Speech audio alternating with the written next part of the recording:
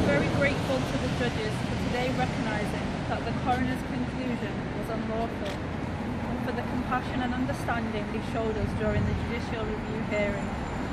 We were so pleased to have achieved an inquest, but the coroner marches up to the top of the hill only to march us down again. We now look forward to a new inquest before a different coroner, which we hope and pray will establish clearly the facts about how Yousef died.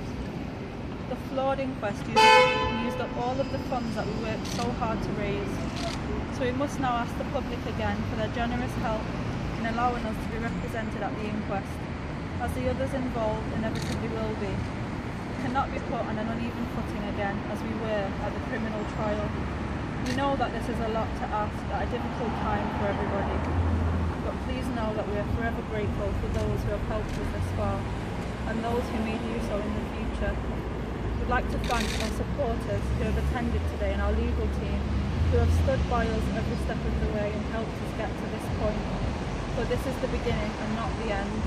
We will not stop until we have justice for Yousef, for us, for my mom, but first and foremost for him, our own beloved king.